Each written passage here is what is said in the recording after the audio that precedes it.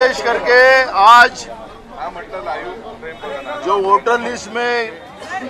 BJP जो घपला कर रही है,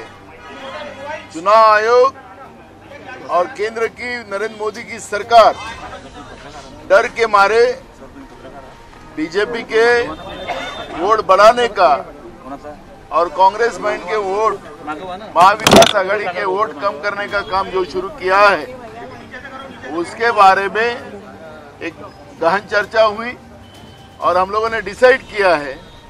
कि जहाँ जहाँ इस तरह का वोटर लिस्ट में नाम काटे गए हैं, ऑनलाइन जो एप्लीकेशन उन लोगों को पता भी नहीं कि हमारे नाम काटे जा रहे हैं डुप्लीकेट साइन करके डुप्लीकेट आधार कार्ड करके वोट कम किए गए। और इसलिए जहाँ जहाँ हमें ये आता है, वहाँ पे हम एफआईआर दर्ज करेंगे और इसमें पूरी इंक्वायरी हो।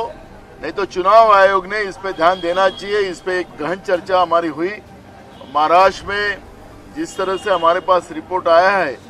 उसके बारे में भी चर्चा हुई कि महाविकास आघाड़ी की वहाँ पे गवर्नमेंट आएँगी और अच्छे वोटों से आएगी।